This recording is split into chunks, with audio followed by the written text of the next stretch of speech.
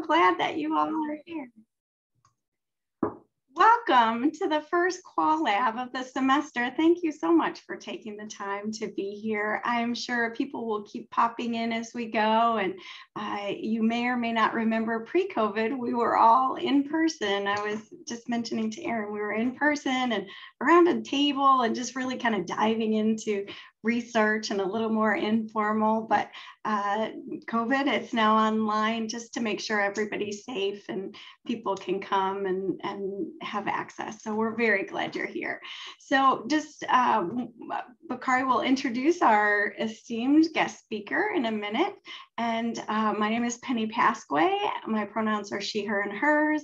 I am a professor in educational studies as well as the director of the Qual Lab, which is uh, one year old. So it's an exciting time for us.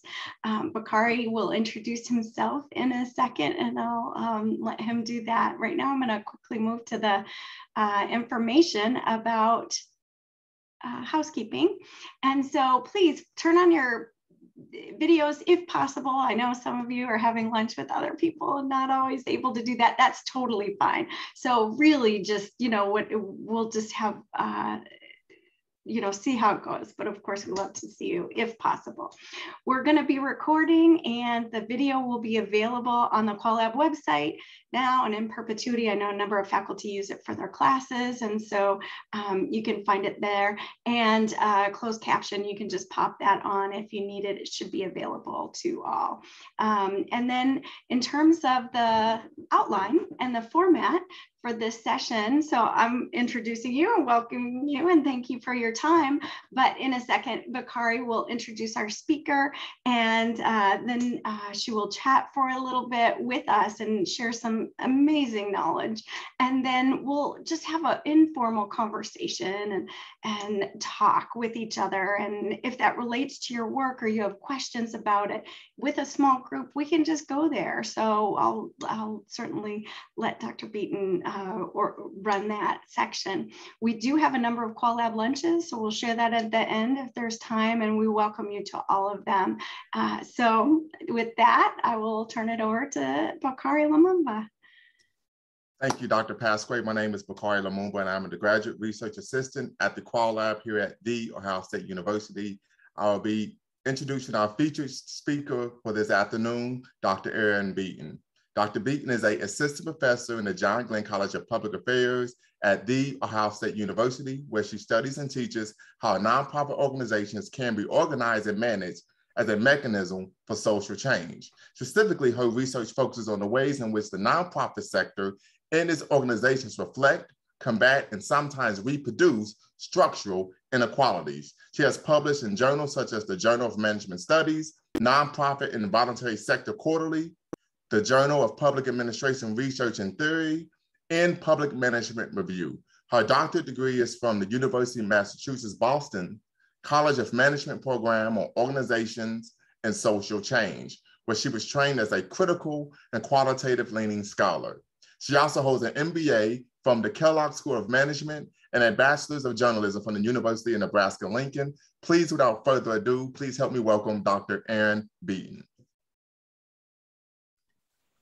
Hi, everyone. Thank you so much, Bakari, and, and thanks for having me.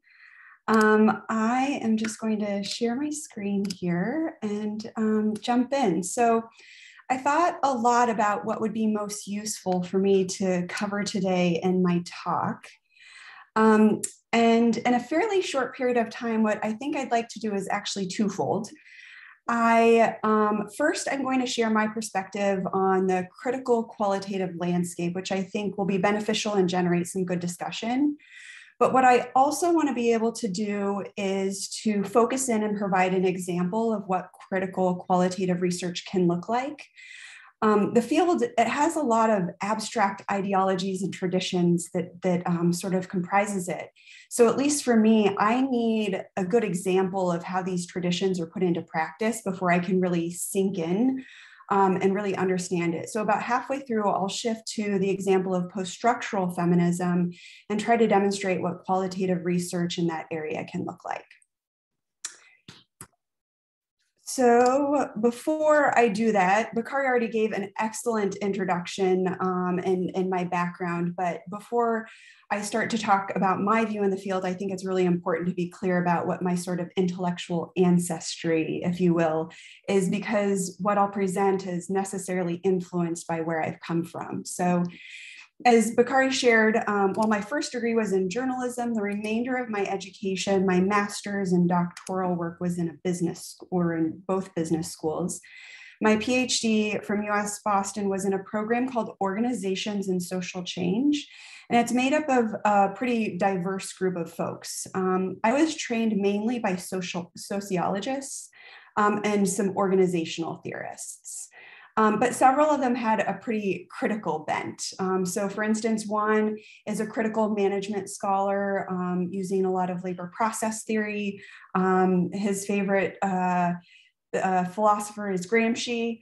Um, and um, someone else that was pretty influential in my program and training me um, identifies as a post-colonial feminist. So sort of a broad um, group of folks all coming from different places. So I, I got what I think is kind of a nice introduction to a lot of these critical perspectives. So from the start, I'm going to share two citations with you because my view of this field is pretty strongly informed by these two texts.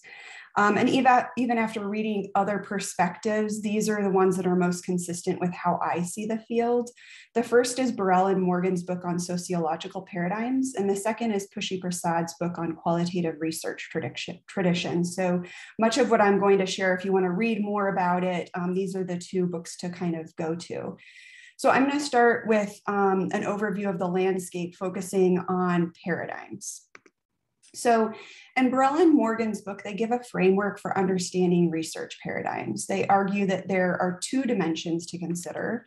The first represents views about the nature of social science. It's essentially an onto epistemological spectrum. And on the left side is a subjective view of reality and truth with a little t. Um, and on the right is an objective view of reality and truth with a capital T. Um, and then the second dimension represents views about the nature of society. As scholars, should we be more concerned with how society is cohesive, well regulated, and seek consensus? Or should we be concerned with existing social arrangements and attempt to overthrow or transcend the limitations of those arrangements? So when you put these two dimensions into effect, it creates four different paradigms. And qualitative research, I think it's important to point out, can be conducted using any of these four paradigms. So qualitative research falls into, into all of these um, buckets. The functionalist paradigm is also the positivist, or some would say post-positivist paradigm qualitative research that attempts to establish causality fits in into that sort of category. The interpretivist paradigm is what we think of traditionally in qualitative research, um, where phenomenology and ethnography sit. And then the top two paradigms around radical change are based primarily on Marx's work and are distinguished by his epistemological break. So the radical structuralist paradigm is drawn from a mature Marx post break um, and focuses on historical and materialist analyses. And then the radical humanist paradigm is where we're going to spend our time today. It's grounded in the young Marxist perspective. So when I think of critical perspectives, um, I really think of those in qualitative research. I'm really thinking about those coming from a radical humanist paradigm. So I think it's important to sort of establish that. So within the radical humanist paradigm, um, there's a broad intellectual landscape. Um, I've adapted much of Pushkala Prasad's work to develop this sort of intellectual tree, but added some additional scholarship in. Um, so what we call the critical research tradition stem pre predominantly from Marx and includes the Frankfurt School critical theory with a capital T. Um, it also um, branches off to include critical race theory, radical feminism, and to some extent post-colonialism as well. And then I tend to think when I think of the critical traditions, I include the post traditions as well. Um, and uh, these traditions stem from anti Enlightenment thinking by philosophers like Schopenhauer and Nietzsche. These traditions include postmodernism, postcolonialism, poststructuralism, um, and from poststructuralism, queer theory.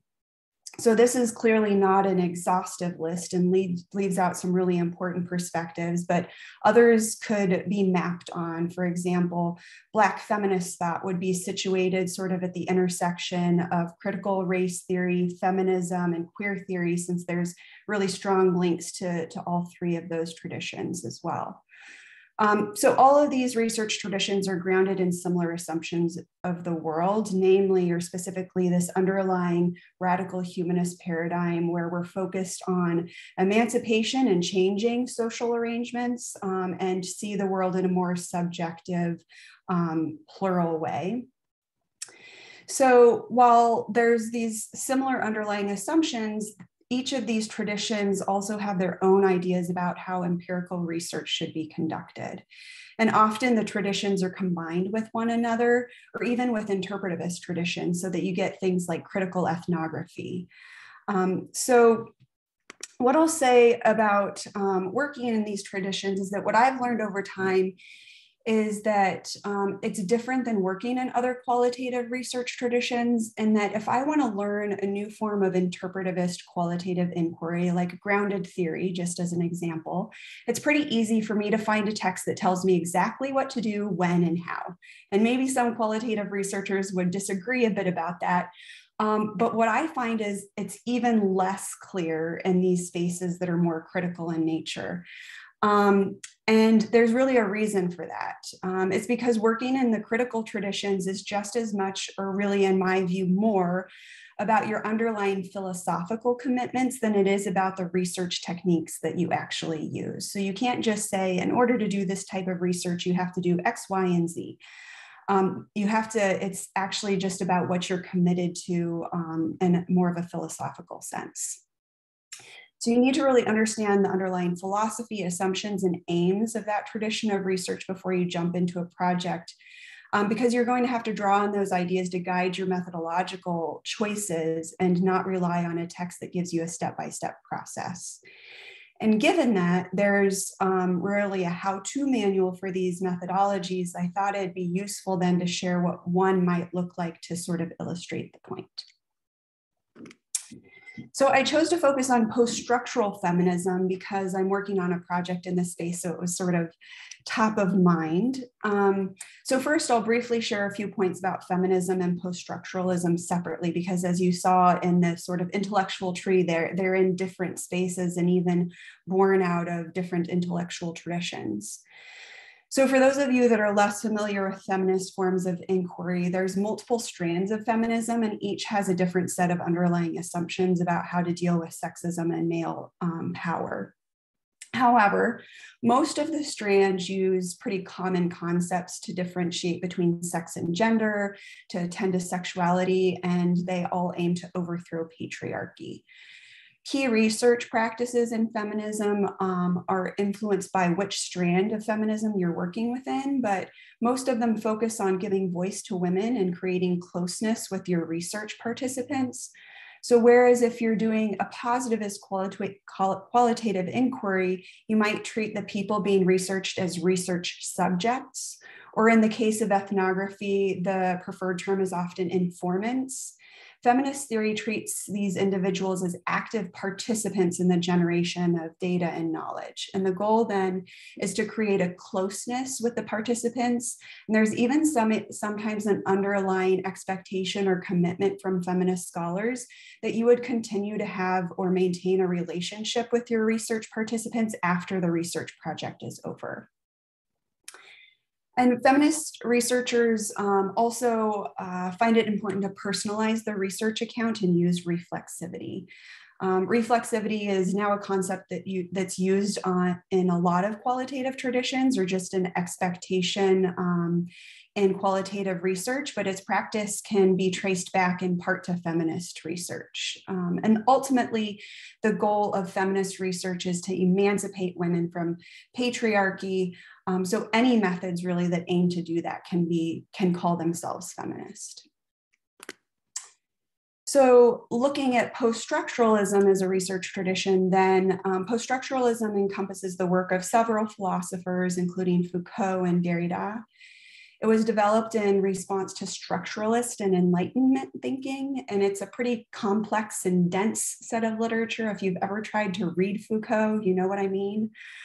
Um, but at its core, post structuralism recognizes that um, the power of language and discourse, but it also at the same time really questions language and problematizes it by showing its multiple meanings and interpretations.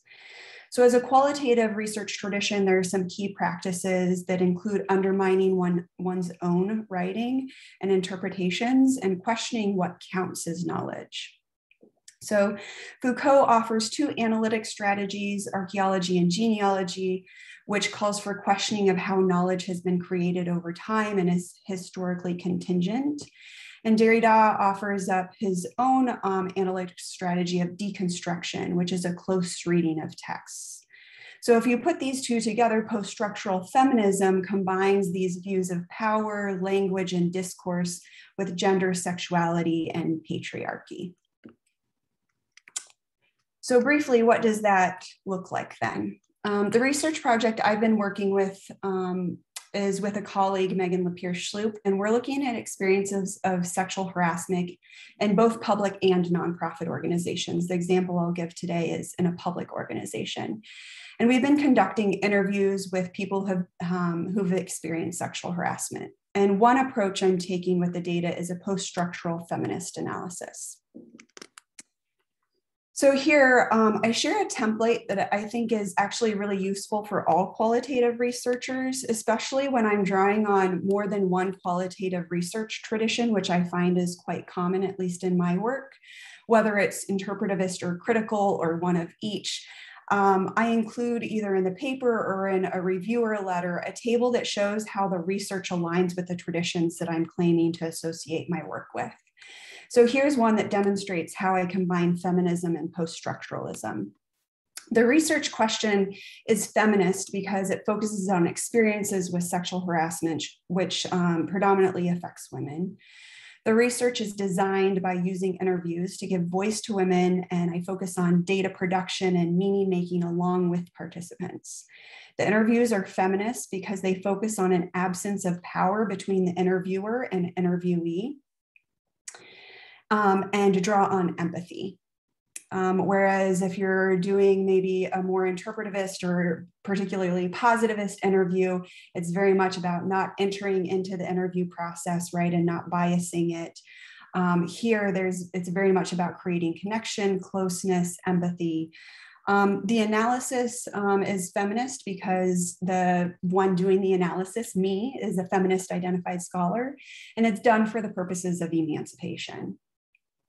The research question is also grounded in post structuralist conceptions of power as being everywhere.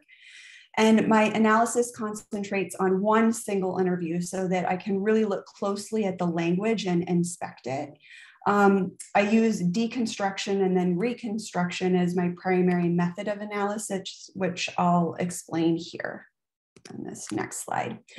So deconstruction and reconstruction. Deconstruction, like I said, is just a really close reading of the text. Um, it's looking to interpret the meaning of language as plural and implicated in discourse. So I use strategies of dismantling dichotomies examining silences in the interview transcript, um, which is interesting because for those of you doing qualitative research and transcribing interviews, you know, it's always tough with the punctuation, right? Like, do you use ellipses or commas, or how do you really represent what someone's saying? So it's very important that this transcript was done very carefully because part of the process is not only looking at what's being said, but what also what's not being said. And then looking at contradictions in the research participants' language. So the analysis is also intended to include a restory. I haven't um, shared that here, but um, part of the deconstruction process is a reconstruction where, in a feminist sense, um, we can recreate and rewrite a fictional version of this story that's emancipatory for the research participant. So I'm going to give just um, a, a, quick example here about um, what deconstruction can look like in this sort of feminist way, and then we'll open it up to, to some discussion. One of our research participants was Liz. I've given her a pseudonym here, obviously, to protect her identity. Liz identifies as a woman and is highly educated. She works for the government. In her role, she supports several different Congress people, offering advice and expertise on policymaking one of the congressmen regularly makes unwanted, unwanted comments about her appearance. One way to understand how power manifests in her experience of sexual harassment is to deconstruct the language that she used to tell her story. So here's how Liz tells her story. One day where we're getting ready for a committee, background. I, for years, had astigmatism. I went to the eye doctor, it was suddenly gone. I got to wear normal glasses and normal contacts. My doctor said, Hey, why don't you try wearing your glasses one day a week just to give your eyes a break? I show up to work with new glasses one day. I'm sitting in a chair where I'm literally in the corner of the room. He's just standing over me, telling me, Oh, you're wearing glasses. I didn't know you wear glasses. I think women who wear glasses are so sexy. My wife wears glasses and she's just so beautiful. I'm like, I don't know what to say to this. Thank you, sir. So here, Liz begins to tell her story, but she almost immediately stops. She backs up to explain why she was wearing glasses to begin with. It's unclear why she feels like she needs to provide an explanation at all. It could be that she feels the need to defend herself, to explain the reason she was wearing glasses was mundane, having nothing to do with wanting this unwanted attention. It could be that she's giving the congressman an excuse that it was sort of abnormal that she was wearing glasses. So maybe he had a point there. Either way, it doesn't really matter why she was wearing glasses. There's really no good explanation for sexualizing someone in the workplace. One form of power from the literature is the power to keep issues off the agenda or out of the public eye. Liz's responses is response to this situation is to feel internal discomfort and resistance, but doesn't feel safe confronting her, her harasser, so her needs are erased from the situation. Another way in which power can manifest is more structural in nature, the perpetuation of gendered norms. This comes up when the congressman brings up his wife. He seems to be trying to sanitize his comments by reminding everyone, perhaps including himself, that he's married. However, by implying he appreciates when Liz appears sexy, it suggests Liz should appear that way more often and perpetuates a gendered norm. What Liz does not say in her story is that the congressman probably isn't making similar comments about the appearance of men in the office. So Liz goes on to, in her story to explain the solution from that has been not to wear glasses to work, so no one can comment on them, which is ridiculous, but it solves the problem. That particular legislator has also consistently, we'll be talking on the phone about something and he'll say, I bet you look good today. That's come up a number of times. In fact, he called me three hours ago. I said, Hello, Congressman, how are you? He said, Oh, I'm good. You look good today. I'm on the phone, so I don't even know if he's here in the office or not. So Liz says her solution is to stop wearing glasses, which is a form of self policing that Foucault describes as evidence of power. When we restrain our own actions based on social norms and expectations, it's a form of power. Liz contradicts herself, though. Her solution is to stop wearing glasses, but that doesn't really solve the problem if the congressman is making comments about her appearance, even when he can't see her. So um, hopefully you can sort of um, see here, just in these two brief excerpts of the interview with Liz, there's so much latent meaning and po many possible interpretations to unpack. And there's also power written all over it. The goal of the de de this deconstruction is to elicit the many different meanings and, and, forms of power, and then to use that analysis to write um, an emancipatory ending to Liz's story, a fictional story where she gets justice in this situation because she didn't in real life. Um, so I know I went through all of this fairly quickly, but I hope I gave some territory to spark some overlapping interests and prompt some good dis discussion, giving kind of the overarching view, at least mine, of what the critical qualitative space looks like, and then um, sort of illustrating what that can look like when you when you bring a couple of those traditions together.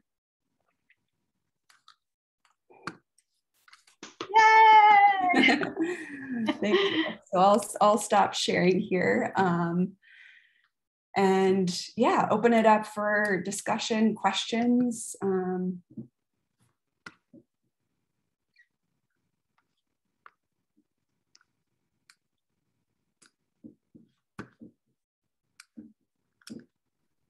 Well, just want to start by thanking you, Dr. Beaton, for that riveting conversation about, of course, post-structural feminism, the quest for gender justice, and really highlighting and illuminating some of the issues, of course, that our female colleagues deal with in the workplace. So this is a very uh, provocative conversation that I hope we can have now now in the question and answer section. So we will open it up to the rest of participants for question and answers dealing with issues of power, hegemony, patriarchy, right? Or even in this case, dealing with issues of sexual harassment in the workplace.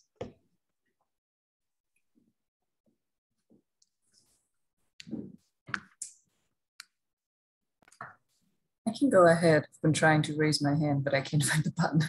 Um, thank you for this wonderful presentation, super interesting. Thinking about how, like reading through the excerpts, how it triggered me, right? I was like, he did not say that. Oh my God. And I've experienced things like that. Um, I was wondering how you deal with um, the potential harm that recollecting all of these experiences and remembering these experiences can can do. Um, and also the power just went out in my room, so I will be right back if you could hold for a second. This keeps, I don't know, I'm in Denny Hall, it keeps happening. I'll be right back. Oh no, I'm so sorry. Well, I, I know I want you to answer that, but I also want her to hear it. Do other people have things to add or questions while Michaela uh, steps away? I, Jill has her hand up. Please go right ahead. Hey, Jill. Hello, thanks, Erynn. I, I want you to join like one of our teams right now um, because like just showing how you approached just those two excerpts um, in the interviews was really interesting. And I'm thinking, okay, so what how do you approach something and say what are they not saying? Like what what is it about the text that triggers that for you? Because that's a technique i'd i'd love to employ.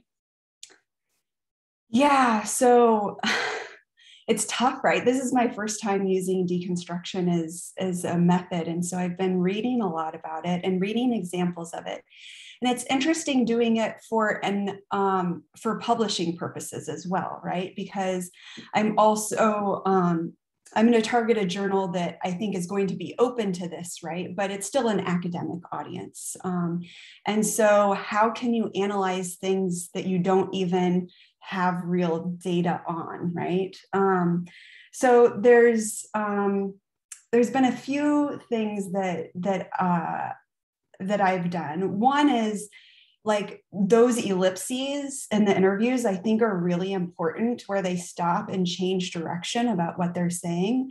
I try to look at that and say, why did they stop themselves? Um, and I think one thing that actually makes this deconstruction easier for me is that um, I can see myself saying these exact same things, right? Um, and I think it would be um, so I think I have an advantage in interpretation. Um, I think my interpretation is probably quite close to the way Liz might interpret um, her story. But I also had, um, I worked on these deconstructions with um, one of our PhD students who does a lot of work in um, sexual harassment and assault. And she it was interesting because she read and deconstructed it quite differently than I did, right? But that's one of the purposes of deconstruction is to not just show that there's one interpretation of what Liz says, um, that there are many of them, those interpretations. And um, perhaps you choose um, as a philosophical commitment to try to um, surface what Liz actually intended to mean, but in a post structuralist sense, that's actually not the objective. The objective is more to surface all the potential meanings um, that could be underlying. So I think while I'm working right now on this paper all by myself, I'm glad that I had someone else to engage in that deconstruction with. And I've even considered um, reaching back out to this research participant and having her take a look at um, how I've deconstructed it, see if she has a different reading to add. I've also considered having some men read, you know, the what the interview says and do their own deconstruction. So I think when you're doing this method right, you're actually surfacing as many possible meanings, and there is no wrong meaning necessarily. Um, but that's also tough because in, in an academic sense you're looking to make a contribution and that's hard to do without like choosing a particular meaning or interpretation sometimes. That's all I've learned about it so far. That's all I know. uh, thank you. I appreciate that. Yeah. There's some I there's contribution is just pointing out the tensions, right? That there yeah. is this tension, that there is this unsaid story. And maybe exactly what it is doesn't matter as much as that it's there. Yeah. Right? Yeah. Yeah. Um, but reading some of the empirical papers where they they do some of these deconstructions, um, I find it really useful to. And there's one in particular that I can send to you where they had some really nice strategies for going about it. This like pulling apart part dichotomies. Um, what does it mean to be man or a woman? Um, and so pulling out terms that are used in the language that are dichotomous and say like how let's you know take apart that dichotomy and interpret it. So some of the strategies that they propose in deconstruction can be really useful and, and quite specific. Michaela, you're back. You have power. Excellent. Um, I think that your question, oh, it's such a good question. It's a tough one. Um, so I can answer it a few ways. Um, one is just to talk about. We just we added somebody, but in between, so might not have heard your original question. Yes, of oh, course. Sure. Yeah. Yes. Um, so we were reading through the interviews um, transcript, and they, she was describing some um, incidents of sexual harassment at the workplace. And I was debating on how it triggered me, and I just had a very violent reaction to it. And I was wondering how we can deal with those reactions that inevitably um, come up in, in the interviews as well as they remember and recollect these harmful experiences and how we deal with that as a researcher um, when we we absolutely don't want to do harm but it inevitably happens as they recollect all of these experiences. Yeah. Yeah, so I'll unpack that a little bit. One easy way to answer it is talk about IRB, right? Because there was an IRB process behind this, and they had certain standards that we had to um, live up to. Um, obviously, there's the consent process. Um, and um, part of our articulation of the ethics of this was um, you know they're opting in to voluntarily tell their stories here you know? Um, we have uh, our sampling was primarily more like a snowball method. Um, there wasn't random sampling. It was really clear what the topic of the interview was going to be. If you've experienced sexual harassment we'd love to hear your story. Um, we framed it in that um, you know, it was centering around the Me Too movement. And um, I think a lot of people wanted to be able to tell their story, but do it in a place that, in a space that they felt like was safer than putting it on social media or telling a journalist or something like that. So I think that a lot of the people that we spoke with actually really wanted to tell their story. Um, so this voluntary aspect, I think, dealt in part with um, you know, it was their choice to want to recount this story. Um, from the IRB perspective, that there were two things: the consent form, obviously, um, but also we were mandated to provide um, trauma resources after the interview, um, just you know, in case it was it was triggering in any way. Um, one of the things that I did at the beginning of all of the interviews was to say this is a really tough topic to talk about. Um, as with all qualitative research, we say, you know, you can stop at any time, you're not obligated to continue, right? But I made that really, really clear from the beginning of the interview. Um, I think there were some really interesting things about doing the interview process itself. The prompt was basically we just want to hear your story the way that you want to tell your story. I might ask some questions for clarity along the way, but um, don't take them as assumptions. It's just some research questions that we're trying to answer. Um, and I did that in part because I found myself asking questions like, that were sort of leading like did you tell anyone after this happened as if i was expecting them to have told someone um, when that wasn't the case i just wanted to know for research purposes did you talk to anyone about this right?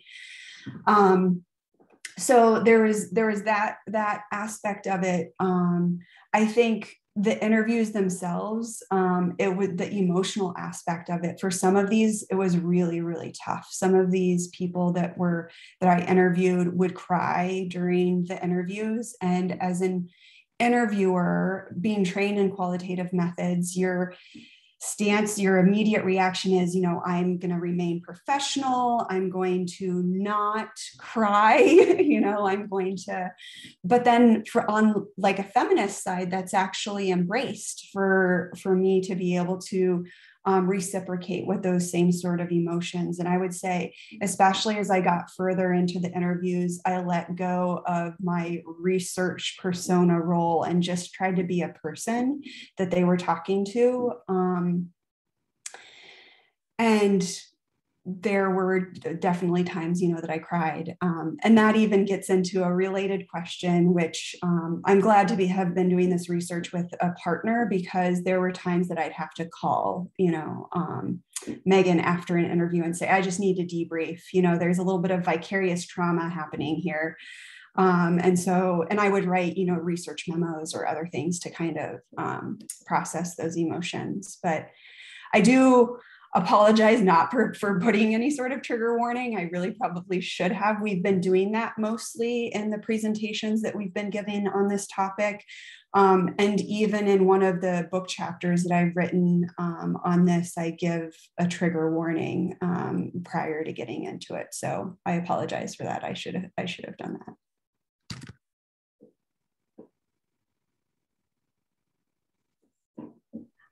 I appreciate that question. And also, Erynn, Dr. Beaton, your response in terms of the complexities of the role of researcher participant looks different in a post-positivist or positive study versus you, the approach that you shared and that you come from and, and that connection and the humanity of being a researcher and, and your point about IRB do no harm, it means so much more than the requirements for IRB. And so, as a researcher, I, I, appreciate how you're really looking at your decisions matter and the humanity of the research before, during, after with participants or co-conspirators or uh, or co-participants or uh, um, informants, you know, whatever language you're using also reflects the approach that you're taking and the complexities there. So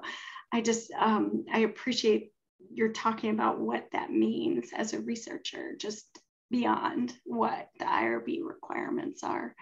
Um, what what other questions do you have or conversations? Because it's a small group, it's kind of nice to be able to have these conversations. So I have a question for you, Dr. Beaton. Um, so, as someone who studies how organizations create structure inequality, right, inequity, looking at the uh, study that you shared with us, how would you advise someone who was in a situation like that to address that issue rather than, you know, self-policing things of that nature? That's a tough question, right? And this is something that critical scholars get um, chastised for: is critiquing without providing solutions. Um, we're masters of critique, and and um, and uh, not always as good about providing solutions. And so um, I mentioned that part of this process is giving a restory, right? Um, and every restory I've given to Liz has not felt adequate. Um, I, no matter what I do, it just doesn't feel like it's good enough. Um, and so I think that that the question you ask is very, very is very tough. Um, what I one way I could answer it is to talk a little bit more about thinking about these issues from a particular research tradition. Um, because what post structural feminist theory would tell us is that um, that power is everywhere, that it doesn't go away, that um, people don't hold power, that it moves through relationships and connections in sort of a capillary um, sort of way. Um, so it's not possible to just remove the patriarchy, for example. Um, there are ways to resituate power and to reconstitute power, but you can't just remove power from situations. It will always be there. So the um, the answer becomes, from a Foucauldian standpoint, becomes that there's always going to be social arrangements that are inequitable um, but they can shift. And if you want them to shift, part of that is changing the discourse. Um, and it begins with changing language. So, um, so the words that you use really matters. Um, so I do think that from a post-structural feminist standpoint, there's probably uh, something to be said for the words that are used to describe the experience, perhaps the words that are used back to the congressman, um, but not uh, without forgetting that this is a structural issue. Um, so it becomes pretty, pretty complicated. Um, really, the restory I want to write for Liz is the one that I would want, which is a big fu to his face. Um, but I don't know if that's going to be acceptable in the academic literature as a restory, right? Um, so yeah, I've been playing with a lot of ideas, um, and I'd be so interested in hearing other ideas. It sounds like there's there's some folks here that you know kind of this experience kind of resonates, right? Like, what is the right sort of not that there's a right response, but what are some responses that would um, would push back or resist against that power in a way that could be productive and or feel more emancipatory than maybe um, silence. I've been wondering about a solution that's maybe more like um, i'm not a comedian of any sort but maybe sort of like a joke back to the congressman like and you're looking really great today too um you know like maybe that would like turn the tables a little bit and help him understand how ridiculous it is that he's commenting on her appearance when he can't even see her i don't know. Uh, yeah like i said i'd love to hear any other ideas if, if you have them. You mentioned joking which is not my style but my girlfriend uh, I, she was in my uh, cohort but in front of me she would say could you say that again in the microphone please? And you know whoa and you know but the humor was away and that person knew it as soon as she said it and it stopped it but kind of allowed him to well i don't know about save face but it was somebody with power a faculty who was um, over her but anyway right the goal of emancipation well, I don't know. I guess that's a fundamental underlying question. Is the goal of emancipation just to feel like you stuck it to him and then it doesn't really matter what happens to you after that if you lose your job or whatever else? Or do you have to simultaneously sort of like keep your standing and respect while also resisting? Um, maybe that's a matter of personal preference. And I'd have to ask Liz what hers would be. I don't know. Michaela also mentioned you look better when I don't wear my glasses, Congressman. I love that. I think that's hilarious. Also, a comment from Angela, which relates to what you're saying now that she had mentioned earlier in the chat. I know I'm just not able to turn on and off her mic, but um, thank you for still adding this. Um, she earlier said, I think I have another opportunity for, or I think having the participant have another opportunity to review is a good idea. Um, otherwise, I feel I may draw inaccurate portrayals, and I know you've already spoke to multiple portrayals, and um, you know, uh, this is something I would need to practice and refine as a researcher implementing deconstructing techniques. And then you just brought up asking the participant again this, and I thought it might connect to the earlier question comment and if you wanted to kind of speak to some of that. Yeah, I think it's, I've thought quite a few times about reaching back out to this research participant. My colleague um, Megan was the one that had interviewed her um, and she really only signed up for one interview you know and i've chosen it because i think it's a very I don't stereotypical, I guess, example of sexual harassment, like what typically happens, or maybe what we typically think of as sexual harassment. So I pulled it out from all of our interviews as an example, but um, I had I I should really do that, reach back out and just just test the waters to see if she'd be willing to re-engage. And um, I just also don't want to. We we're all so busy, right? Especially I don't know, I as a mom, you know, resent things that take up my time that I don't want to spend my time on, right? And so I wouldn't want her to feel um, pressured to take more time towards something that um, that is really about hopefully making a difference in the world, but also pursuing my career and publishing something, right? So um, I've taken a lot of pains to also um, try to um, anonymize and take out a lot of the details and things. Um, I, I'd like to reach out to her just to also make sure that she feels comfortable with the extent to which I've um, done that, or if maybe I could share a little bit more information about the contextual situation, which I think is relevant. Um, so and it was my mistake. Somebody else said they couldn't unmute, but I, um, so Angela, please unmute if you'd like, or, you know, I just saw it in the chat and I know I wanted to make sure either way that it was, it was shared. Thank you so much. Yes. Ooh. Bakari, I'm gonna let you go for this one. That's in the Absolutely. So the question here, um, do you find there are contradictions in the philosophical traditions of feminism and post-structuralism or within feminist post-structuralism, right? So this is a bit of a handful here, right? But you know, we're sure you're gonna knock it out the park. So if so, how do you reconcile or manage these contradictions? One example may be removing hierarchy as a feminist practice in the interview, but also recognizing power. Is there is there and not removable. So we're gonna lob it up to you and we expect you to do your Ken Griffey Jr. thing.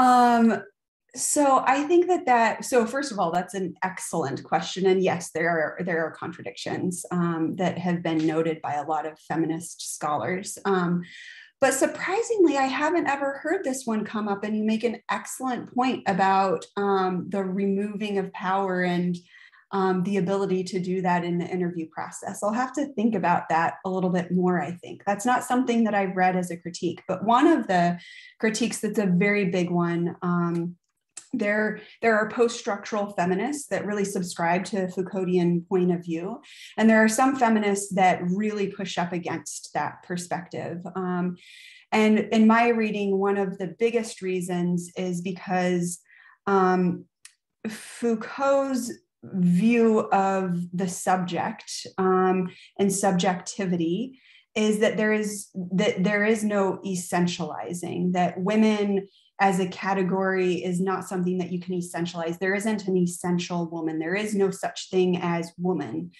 Um, and so feminists that um, that are uh, really focused on activism and creating solidarity among women find that to be very problematic for their practice of organizing. If you can't use the subjectivity of women or an essential experience of being women to unite women against these structures, then how is there really any way to make any progress on these issues? Um, and so that's that's one of the big um, uh, tensions, in my view, between feminism and post structuralism. And it actually speaks a little bit to the challenge of answering Bakari's question about what to do in this situation, right? If power can't go away. And it's, you know, it's a big critique of Foucault's work, really. Um, so, yes, I think that there's definitely tensions there. Um, and you either put them out center stage and just say, here's how I'm dealing with them, or put them in the background. Um, but yeah, I'll have to really think about that um, interview practice and if there's what Foucault would say about the ability to try to equalize power in that relationship. if others, you know, know some of Foucault's work or have some ideas about that, I, I'd love to hear.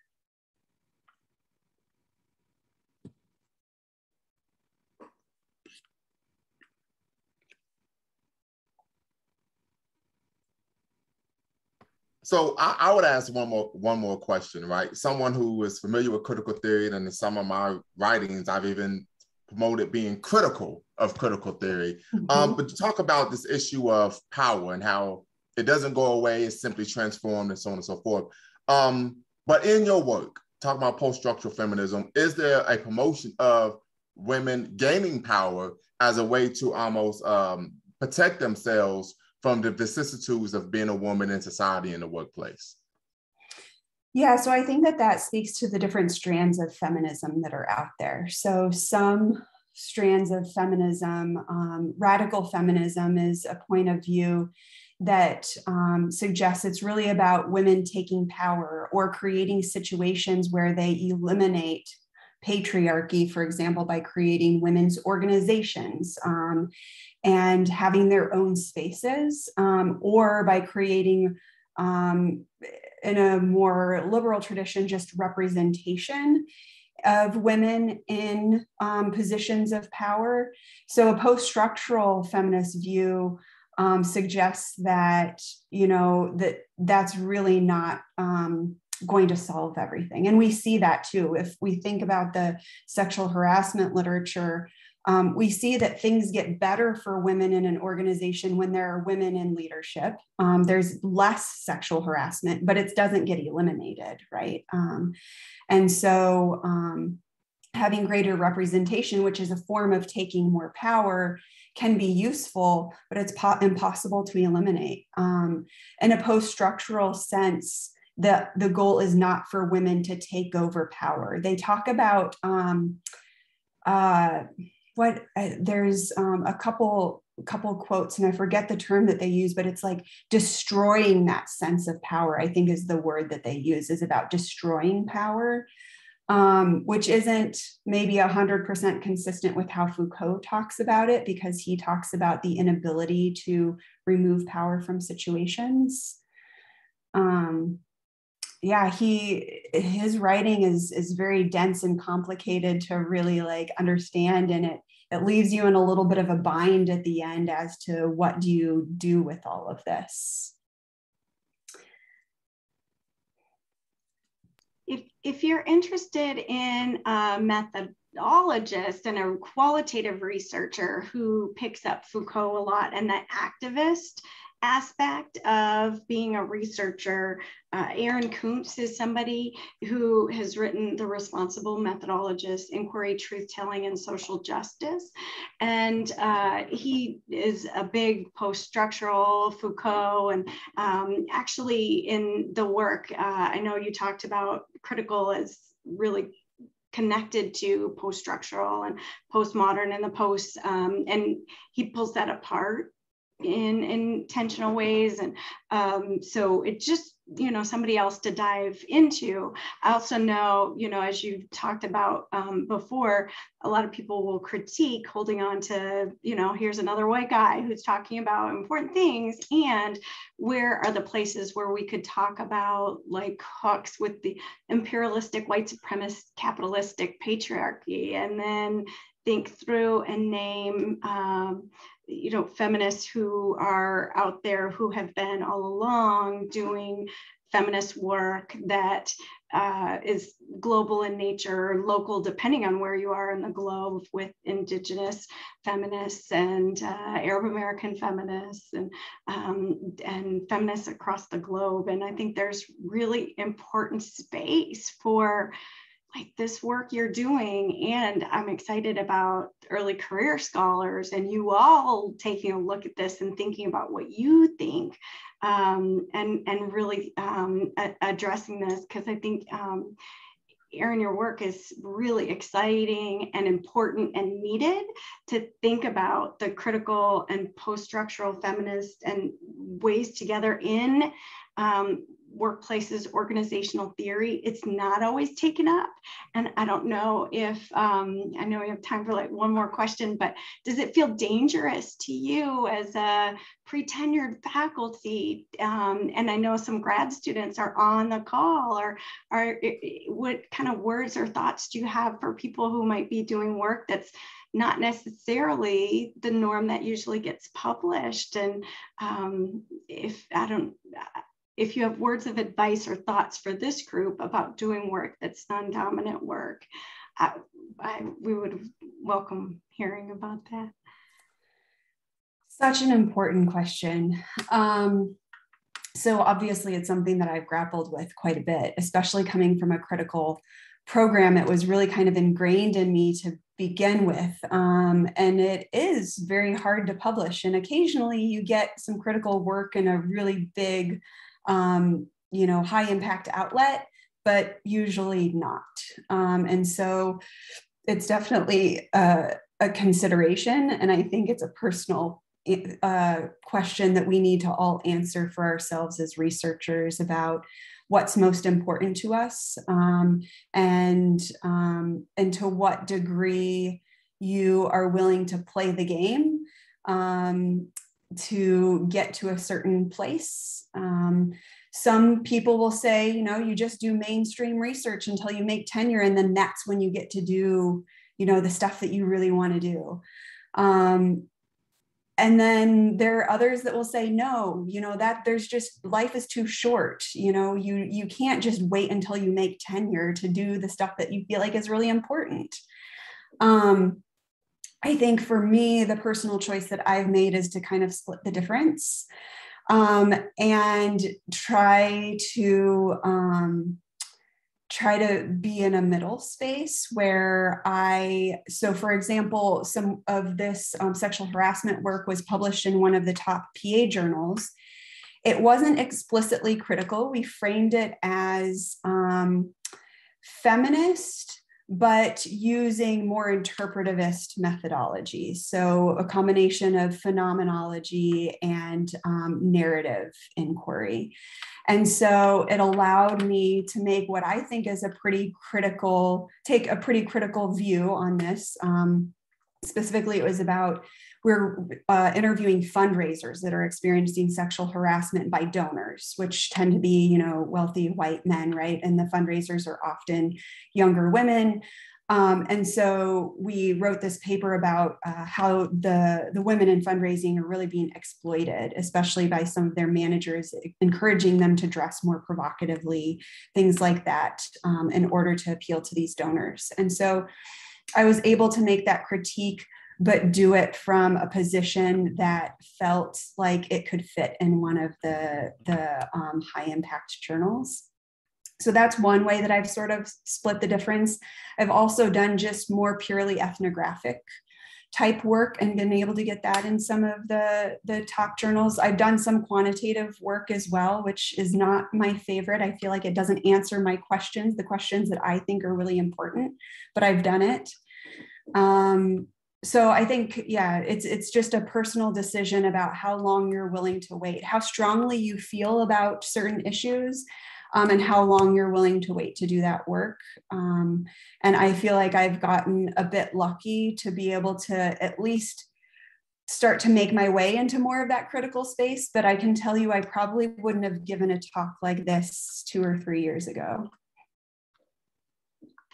well, we're so lucky that you did then. thank you so much. And, um, and just thank you so much. I want to mention that uh, we're, we're, very grateful for the work, the thinking, um, and also future Qual Lab lunches. We now have Transana. If you do video research, Transana is a way to really look at, and it, like NVivo, analyze the data you analyze it, but it's a tool for you. And then we have uh, future uh, sessions coming up after that. So please take a look at those and we hope you're there. But uh, again, thank you, Dr. Erynn Beaton, for your important work. And it is encouraging us all to be risk takers and think about for ourselves what that means for us in different spaces. I'm somebody that believes it's needed in different forms, in different ways, in low risk, high risk, everywhere behind closed doors in front. So whatever your role is in taking that up as a scholar is important and the right way to do it. So thank you so much. And thank you everybody for coming.